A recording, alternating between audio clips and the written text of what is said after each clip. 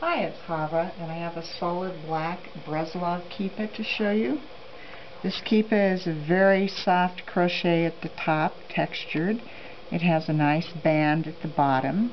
There is some give to it. These black ones will fit a small to medium. Very nice yarmulke. It has a little tassel at the top. These kippas and others are available at Aharon's Jewish Books in Judaica in the Mile High City of Denver, or please check our drop-down menu below for ordering information.